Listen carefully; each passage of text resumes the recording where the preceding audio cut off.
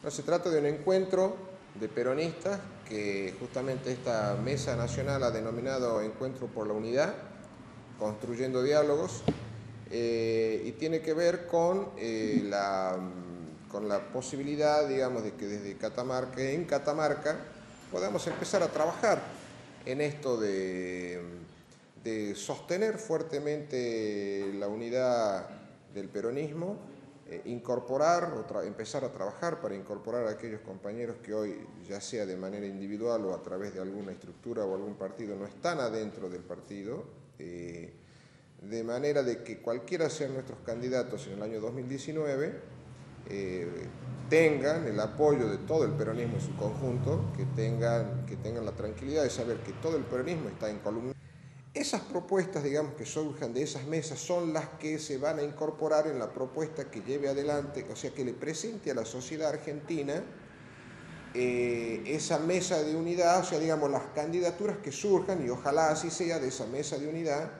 que, se va, que va a llevarse eh, durante todo este tiempo hasta que logremos, y ojalá así sea, la unidad para presentar una sola propuesta electoral en el año 2019 lo que, la propuesta que se le va a presentar a la sociedad argentina, digamos,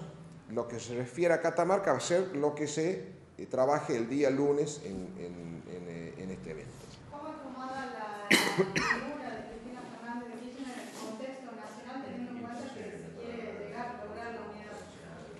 Es una parte más de esta unidad. Eh, los representantes, por decirlo de alguna manera, no quiero, quiero calificar, pero como para ser descriptivo, en esta mesa del día lunes, en esta mesa conformada a nivel nacional, que, va a estar presente el día lunes en Catamarca, bueno, están este, Daniel Rossi y eh, Agustín Rossi, Daniel Filmus y Santa María,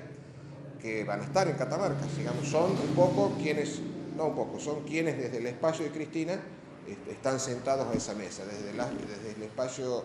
de masa, podríamos decir, no quiero decir que son los enviados de masa, pero sí desde el espacio de masa están este, Felipe Solá y, Daniel Arroyo, por el sector de Randazo están Alberto Fernández y el Chino Navarro, entonces uno